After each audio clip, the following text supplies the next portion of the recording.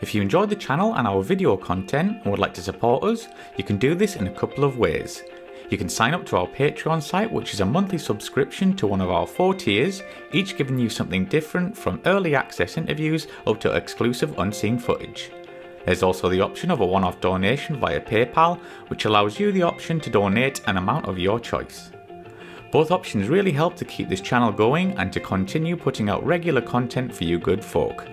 So please take a look at aircrewinterview.tv forward slash donate and I thank you in advance. Thank you and enjoy.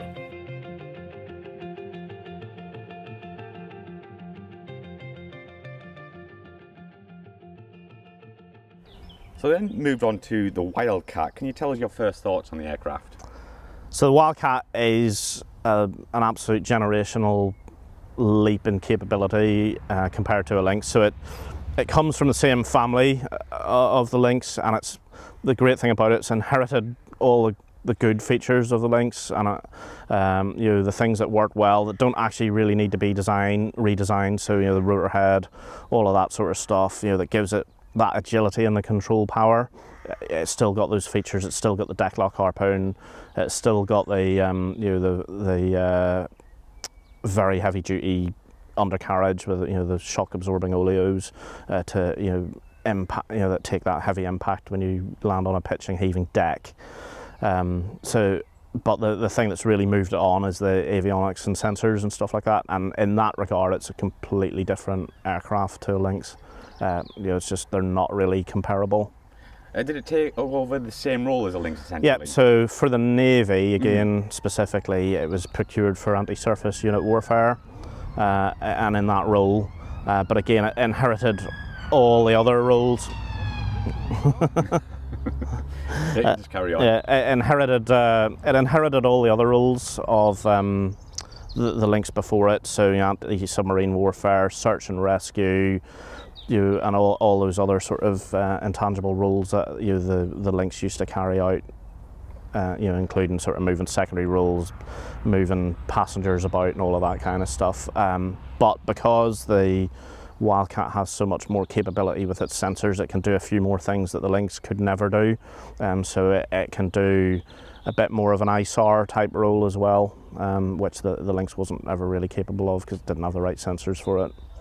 So for people who are not aware, what's the visual differences compared to the Lynx? Uh, so the, the, visual differences, I guess, to the Lynx are that the Wildcat looks a little bit more uh, chunky. Uh, it's a lot more angular and squared off. It's not quite as rounded uh, as, the, as the Lynx, so it looks a little bit more brutal.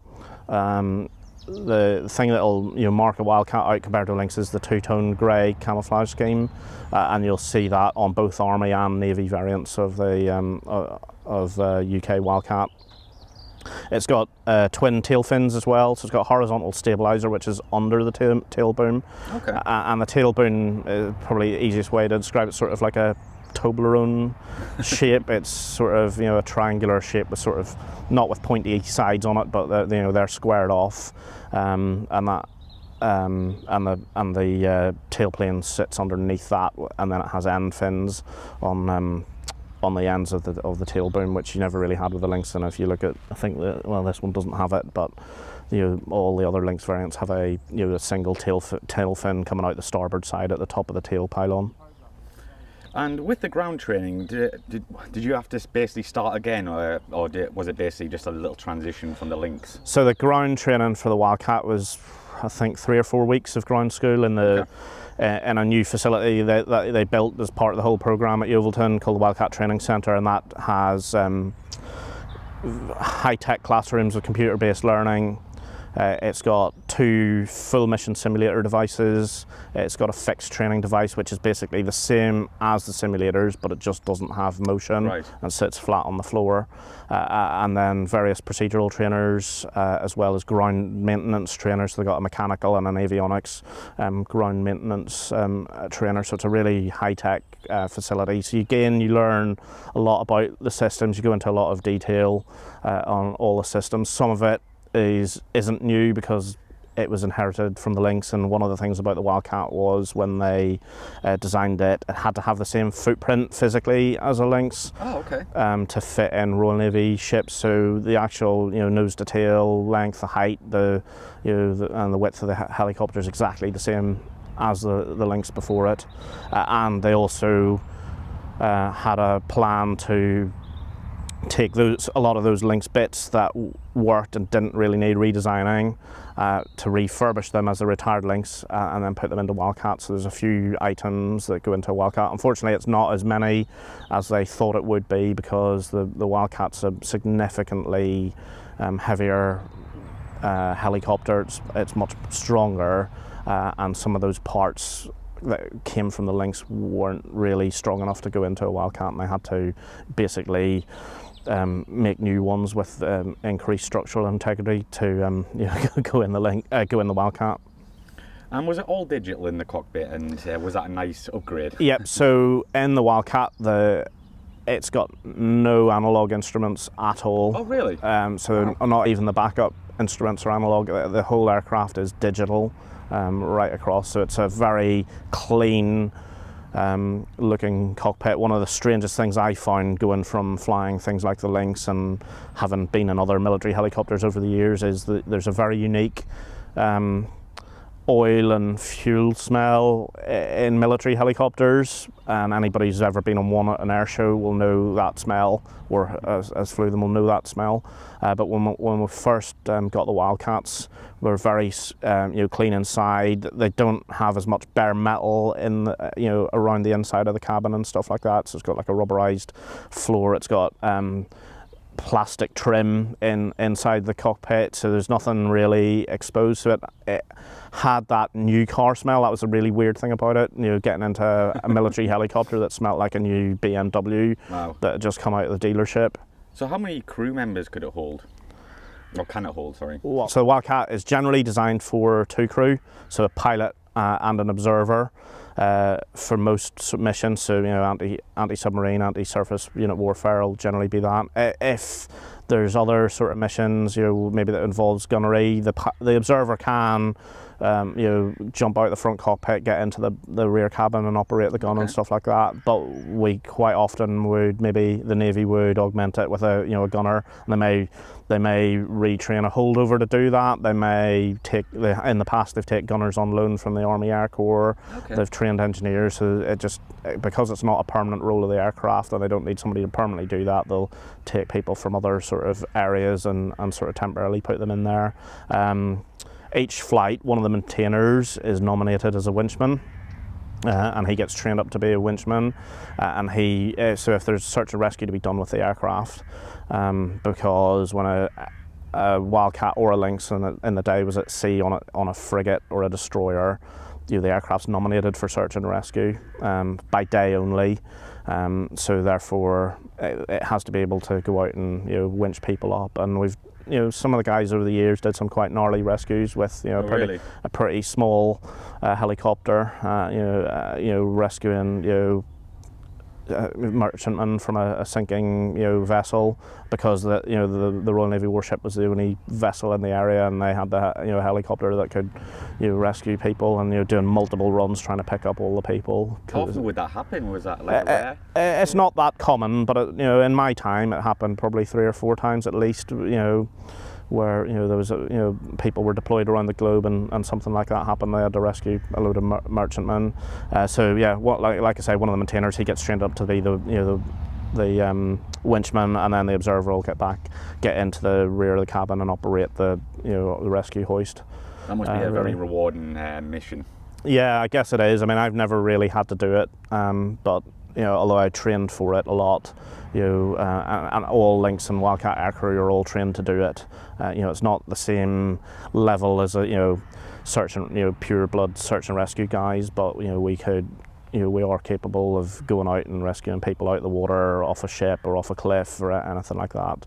Um, you know, by day. Um, you know, crew members as well. So, you know, the, the Lynx and the Wildcat have different variants exported around the world. So, some of those are purely anti submarine variants and they have dipping sonar on the back. So, Yeah. those helicopters will tend to fly around with three you know, crew. So, you have a a pilot, a tactical coordinator, uh, and uh, officer, and a um, uh, you know a sonar operator in the back operating the sonar.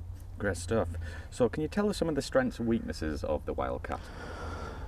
So the strengths of the Wildcat, you know, in terms of you know airframe, they're the same as the Lynx. You know, speed, uh, performance, or, or, agility, all that sort of stuff. Uh, you know, the, all those things that make it a really good maritime helicopter, like the control power, the um, deck lock, and the undercarriage for you know helping it to operate in very poor weather. Those still stand. Uh, it's got a lot more power than the Lynx. It's significantly more powerful. So feel that. Oh yeah, yeah, Wow. definitely. You, you know the engines are bigger. Um, you know, so you can much higher rates of climb, even though the helicopter's significantly heavier than the, than the Lynx.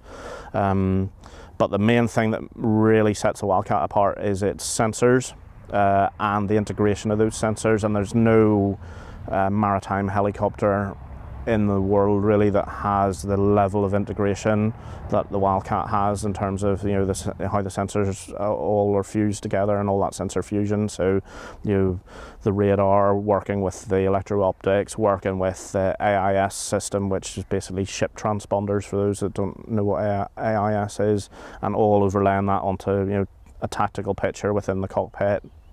Uh, you know, the ability to be able to you know uh, partition off certain uh, geographical areas and either get the systems to specifically look in those areas or specifically to exclude those areas, that sort of stuff, and the manipulation of the system. So, you know, when the aircraft was designed, um, Westlands at the time, now Leonardo, um, invited various uh, aircrew down to you know Yeovil uh, to help you know to ask them what they wanted out of a system and how to develop it and because they had that integration and it wasn't just purely engineers who've never flown in a helicopter Yeah. doing it they you know created a system architecture that made it really intuitive and somebody who doesn't know about the Wildcat specifically but maybe knows about you know radar and EO systems could probably quite quickly get in the cockpit pick up how to use it without having to Oh, wow, um, you know, r- do lots of reading on it. Although you still have to do the reading to understand the actual capability of what, what it can actually do, but you could you could certainly pick it up at a very basic level just by you know just exploring what the buttons do on the you know on the system. Could you maybe explain to our viewers an average day as a Wildcat pilot? An average day as a Wildcat pilot, um, I guess it depends on what your role is as a Wildcat pilot. For me, my, most of my time as a Wildcat pilot was as a um, qualified helicopter instructor. So you know, it could depend on whether you know you're day flying or night flying. You know what time you turn to on the squadron. So if you're night flying, especially in the summer, you might not be coming in until about lunchtime because you you might not be landing on until about two a.m. in the morning Right, yeah. um, you know, if you were unlucky enough to go second wave. Um, but generally, you know, it, you know, up to two sorties a day. Each sortie lasts about two, one hour thirty to two hours. There's a briefing, which is an hour before the sortie, you know, and if it's the student, they've got to prep even before that, you know, briefing. So that's another sort of 45 minutes to an hour of prep time, you know, before you brief uh, and then fly the sortie, come back, sign in all you know the aircraft, do all the post-flight admin, uh, and then um, you know uh, debrief afterwards, which again depending on what was involved. uh, Especially you know if it's a training sortie though, then the the debrief could be quite extensive. You know, and it Mm. could be 45 minute debrief potentially, maybe even an hour in some cases. If it's just a crew doing continuation training, then the debrief might be quite short, 10 or 15 minute sort of debrief of what they did because you know they're used to working together and, and, and doing the, the role. Um, so when you put that into sort of two sorties a day, it can make for a very long, busy day and not, Yeah. not a lot of time to do much uh, in between. You know, so you know one you know one sortie is probably you know from start to finish between four to five hour Wow. e- evolution. So you know, two of those a day, looking at an eight to ten hours of just doing stuff around aviation. Not a lot of time for you know doing you know other activity. And But would you be flying every day? You that- don't always fly every day, Right. so you know when on those days when you don't fly, you've got time to um, you know pick up other stuff. If you're on the ship, then you know the ship you'll know generally what the tasks are, and the tasks are laid you uh, out um, you know, a day or two in advance, and it depends whether you're just working with your ship or you're in a, you know, a coalition of various other you know, ships, uh, and then you've got um, basically a tasking order which will dictate which all the helicopters, you know, what tasks all the helicopters are doing. So generally, what you do is you, know, you might know that you're going to fly between one and you know four uh, one on sort of 3 p.m. Mm-hmm. in the afternoon doing a particular, you know, maybe a surface search or something like that. So, but you'll have a alert period, and the alert period is sort of 12 hours, um, you know, during the day. So you'll get up at the start of that alert period before it and, and brief for it. Um, you know, and that, that brief involves the captain, the you know the you know, principal warfare officer, the ops officer, flight deck officer, the air crew, and anybody else that's involved in aviation. So there's quite a few people at that brief, and it covers all the usual sort of aviation aspects like MET and all of that sort of stuff, what the aircraft's going to do, uh, and then runs through all the different you know other things like com plans and you know all that kind of stuff, and then you might not do anything for a while until you've got your your planned in sortie, but equally because you're at alert. You're at 15 minutes notice to get airborne, mm. so you you could suddenly hear action Lynx, action Lynx, or action wildcat, action wildcat, and you could be you know doing something else, uh, you know, either doing some you know admin work in your office or you know sat in the wardroom having a coffee, uh, and you might hear that, and you've got basically to you know sprint down the back of the hangar. Do the walk around if you haven't already done it, or you should have already done it at this stage, and you know, get in the aircraft, get it started, and get airborne and off the deck from 15 minutes within that pipe. You know, be, that pipe being call, called out, um, you know, action Lynx. Never a dull moment then. so yeah, it could, it could, be quite busy if you if you're doing that sort of stuff, and that might be because you know something unexpected's happened. A ship that they weren't expecting that they want to look at has appeared somewhere over the horizon. You know, a search and rescue th- you know event has occurred. You know, it's usually for you know unscheduled, unexpected tasks. So have you flown on any large exercises with the Wildcat?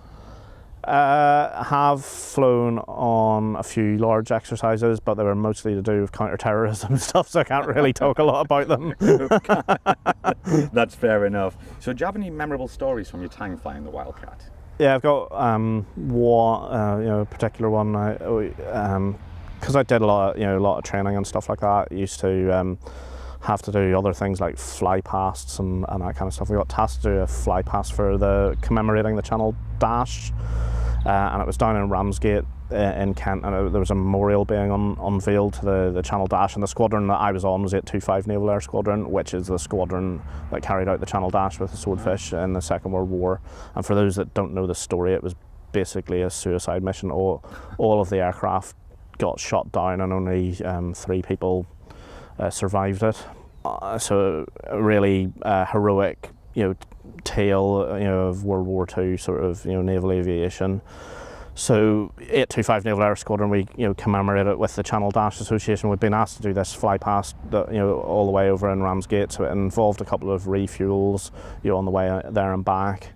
Uh, and we my boss was there on the ground as was the, you know one of the um, squadron executives and they were there out in their best bib and tucker in their number one uniform with all the dignitaries and all that kind of stuff and, and it was a four ship fly past which I was leading. So we'd been to Odiham refueled and we were en route to Ramsgate to basically do this fly past on the second and we're somewhere south of Guildford and um, the air traffic controller came on the air and said um, Talon formation uh, We've just had a um, call from your um, operating authority. You need to relax the fly past by like 50 minutes. Oh.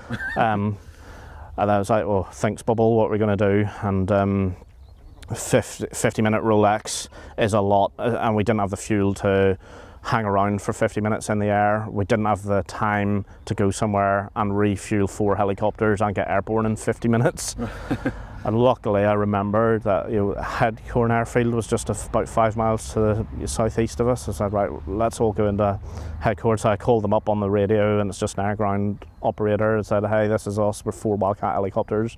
Uh, we're coming in. just basically didn't even ask, just told them. Yeah, we're going. And these four Wildcat helicopters just descended upon them. We came in, shut down for about 15, 20 minutes. Just that was enough to save us the fuel. Yeah. And um, and then restart and then we went off and did the fly past and we made it to the second wow. um, but 50 minutes later than you know we were supposed to, and it was all because just the dignitaries had, had run late. That must be quite annoying. yeah, it was a little bit, but it, it, you know, it was, Worked out. It worked out in the end. Our biggest you know, worry, I guess, was trying to make sure that four aircraft started up again, and we didn't have any snags and lose one. But it all worked out in the end. But it was a, a bit of a thinks bubble at the time. Brilliant stuff. So, how would you sum up the Wildcat? Uh, the Wildcat is, uh, you know, very, very capable uh, helicopter. Um, it's a lot of fun to fly from a pilot's point of view because it's very manoeuvrable. But in terms of a, you know, combat system, it's just, um, I think, unbeatable in terms of its capability, its mission sy- system integration, its sensor capability, uh, and all of that sort of stuff. Uh, you know, in, in the role, it's, you know, it's just an incredibly uh, capable helicopter. Um, uh, you know, and unbeatable in that regard right now. Uh, as, a side note here, do they still have the display team out there? I think they are called the Wildcats, aren't Oh, the? Black Cats, The yeah. Black so Cats, the Royal Navy uh, helicopter display team, the Black Cats, yeah. They, ha- I think they are. I'm not so much in touch with that world anymore, um, but uh, you know they certainly had one aircraft last year. You know, the number of aircraft they have depends on the resource that they've got available, either the instructors to do it or the. Um, you know, or the you know the allocation of aircraft and stuff like that. So it depends. I don't. Hopefully they'll bring you know, the second aircraft back in at some point in the future, but I don't know when that would be. You'd have to ask the Royal Navy about that. yeah.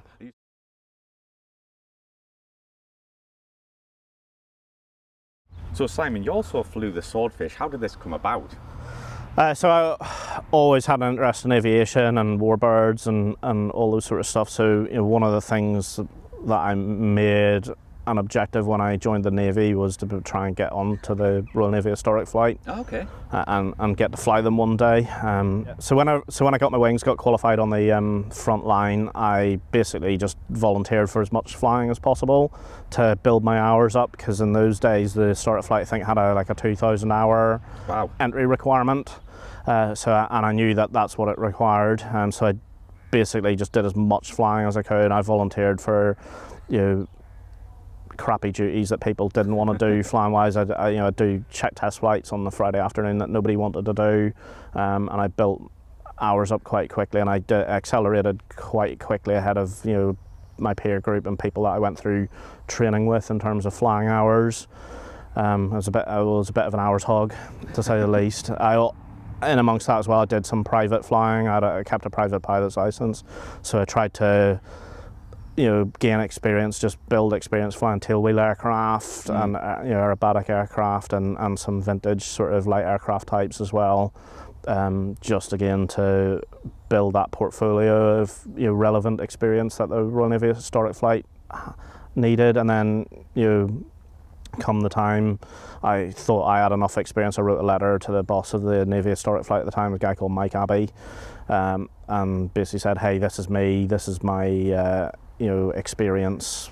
Um, you know, I'd like to join the flight one day." And he said, "Yeah, you're just the sort of guy we're after right now. We don't have any slots, but come, you know, maybe in the future we will." And then a few months later, he invited me over for a coffee to the Historic Flight, and one one of the guys you know had left the flight, and he had a slot open, and I ended up joining the flight. So I joined uh, Royal Navy Historic Flight around April 2010.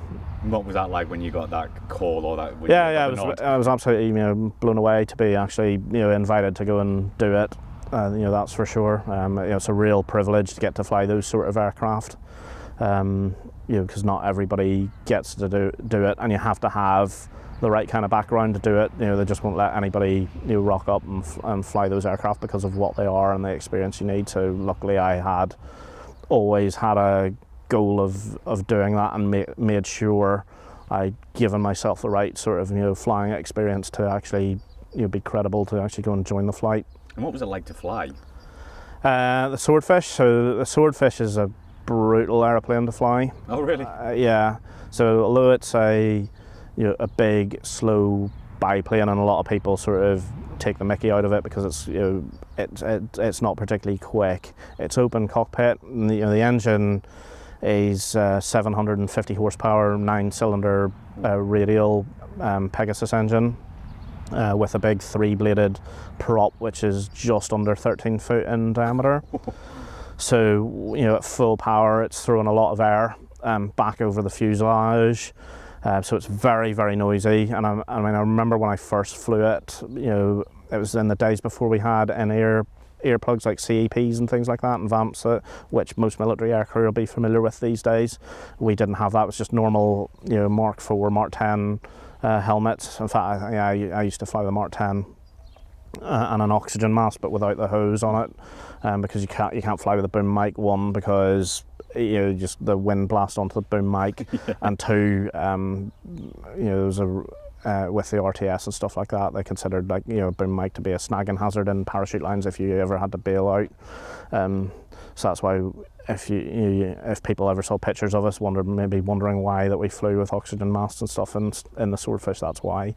But uh, yeah, so it's brutally noisy. And one of the things I remember because I don't have C, didn't have CEP in those days was getting out after a, a, flight and you know when you you know that feeling when you've been to a really loud nightclub and your hearing's dull afterwards and you can't hear properly for a couple of hours. That's what the swordfish was like. It was wow. you know, brutally brutally noisy. You know, and you know to be able to the radio fit that we had in the early days when I flew it um, wasn't great. Used to have to throttle back, lower your seat, put your head fully into the cockpit, listen to the radio call, or, or and make it, and then jack your seat up, throttle back up, because you could, you know, in the cruise with the seat up, you couldn't, you know, hear at all. It was so so loud. And then CEPs came along and they made such a difference. Plus they changed the radio fit, and then actually you fly it a bit more normally, so you could didn't have to move the seat up and down, and the and the radio volumes were all really good and stuff like that, and you could actually hear you know, what air traffic were, were telling you. That but help, wouldn't it? yeah, you know, uh, the rear cockpits have all you know also flown in both the rear cockpits of Swordfish as well. Um, times. So the further back you go in the aircraft, the more brutal it becomes. So the pilot is actually very well um, sheltered, and the cockpit side sort of come up to your your shoulders. There's only really this much above you, and you've got your windscreen yeah. uh, in front of you. So you're actually, you know, despite all of that, quite well sheltered um, from the wind blast. Uh, but when you go into the uh, observer's cockpit, you know you stand up in the back of that, and the, you have a dispatcher um, harness. So you know, at that point as well, the slipstream of the propeller starts to spill into the rear cockpits as well from the right hand side. So you'll get be getting a bit of um, your propeller slipstream as well as your know, wind blast and stuff. Oh. But you can sort of shelter up behind the pilot's cockpit a little bit, so you can sort of tuck yourself up in there. And there's a little fold down stool that comes up, and you can sit down so you can get out of that. When you go, uh, and the sort of cockpit sides of that are sort of like mid sort of you know, on me anyway. Um, sort of you know, mid abdomen sort of height. When you go into the uh, telegraphist air gunner's cockpit at the very rear of the aircraft, the cockpit sides are sort of down at waist height, uh, and you get the full blast of the wind.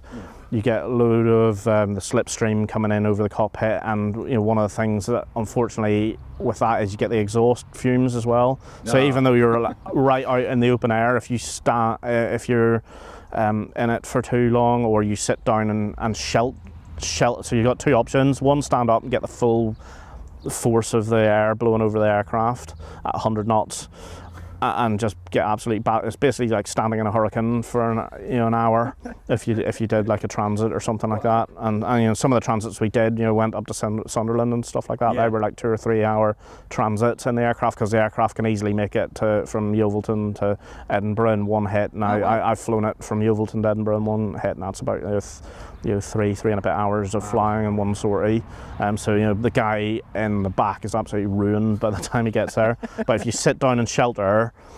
the cockpit pulls up with carbon monoxide, so you end up like you know even though it's an open cockpit aircraft, you get a lot of carbon monoxide sort of pulling in that in that rear cockpit, and it, you know so it was very, if you spent too long sitting sheltering, you'd end up you know with a bit of a headache most of the weekend. But but overall, did you enjoy flying the aircraft? Yeah, I mean, I absolutely enjoyed it. Anyway, how could you not? It's um, a unique aircraft, and you know, in certainly in warbird terms, it was you know the only one flying in the world. You know, at the moment they still are. You know, the only ones flying in the world um, right now. Uh, so you know, real unique privilege to be able to fly an aircraft like that, and you know. Uh, Swordfish is to the Fleet Air Arm what you know Spitfire is to the Royal Air Force in yeah. terms of its you know war history and, and stuff and the things it did and you you look at the all, all the operations it was involved with in the Second World War you know just absolutely amazing. You know, some of the things that they did got away with, and, and quite often, you know, they were the you know the underdog because they're flying the old, slow, outdated biplane, even by those, um, you know, by World War II standards, it was a you know an old, slow, outdated airplane. But you know, some of those things that made it old, slow, and outdated also were some of its strong points as mm-hmm. well. Simon, do you have any hobbies? Uh, well, yeah, those that know me well know that I uh, fly a lot anyway. So I, my hobby it generally tends to be flying. I really it's either flying or cycling. Um, but yeah, do haven't done so much flying over the last couple of years, but I do a bit of private flying, um, and I've flown all sorts of stuff over the years. I've got uh, a Pitts S1S, oh, nice. um, which I you know do a bit of flying in from time to time. I've got a little microlight as well, um, little tail wheel microlight. So I've got a couple of uh, aeroplanes. My wife is a pilot, and she's also a QFI at um, Barkston Heath on the um, prefect. Uh, she's also got her own Pitts. Um, you know, so we do a bit of flying together when we can. Although again, it's been a while since we've um, managed to do that. This could be an easy one or a hard one. Favorite aircraft you have flown? Favorite aircraft I've flown probably the Swordfish, just because of what it is. It's not the most amazing aircraft to fly in terms of handling. You know, it's an aircraft of its generation, so that you know the handling isn't great, and it's a, you know it's a, a brutal bit of kit to fly. But it's my favourite because of just the you know the pure history and you know privilege of getting to fly an aircraft like that and and preserving that living history and keeping it alive. Absolutely. One you'd like to fly, either past or present.